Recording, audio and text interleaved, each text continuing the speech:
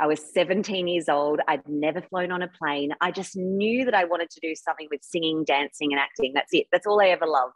And I got an audition, and my mum drove me three hours to Sydney to do the audition. And um, I left there going, I just had to do everything that I've ever learned, like singing, dancing, acting. I just loved it. And the next minute, we were touring nine months of every year, packed out concerts, and everybody knew my name. It, it was just incredible, mind blowing for a little kid that hadn't even flown on a plane.